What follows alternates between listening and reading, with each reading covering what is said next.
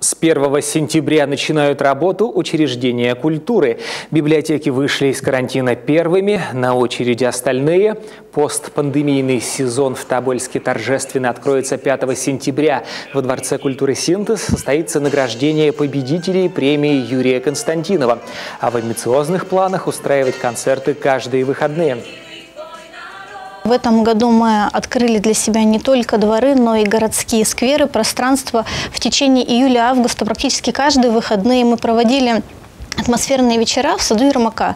Но здесь мы действительно были завязаны на погодные условия. В эти выходные мы были вынуждены отменить концерт, посвященный Дню флага, но 20 9-28 августа мы приглашаем табаляков провести атмосферный вечер, посвященный Дню флага.